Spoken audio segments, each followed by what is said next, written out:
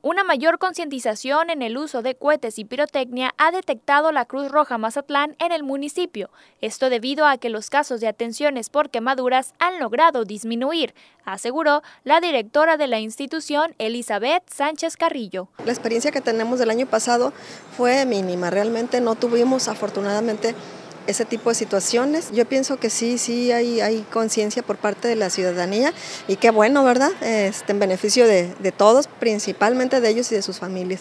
Todo bien, ojalá que también se concienticen en la parte del no manejar cuando traigan alcohol, porque eso es lo que todavía nos está pegando mucho.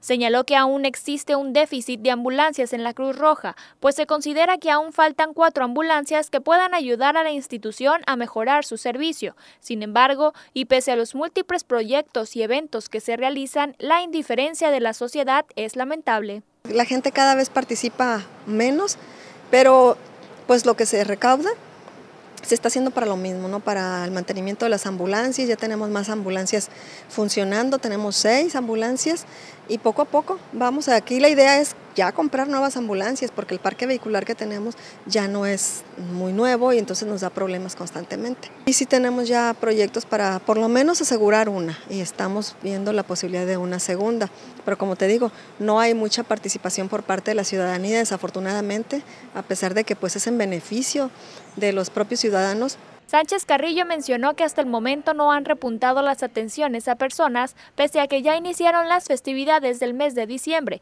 en las que destacan congestiones alcohólicas y accidentes automovilísticos. Con imágenes edición de Pedro Velarde, reportó para las noticias TVP Carele Macedo.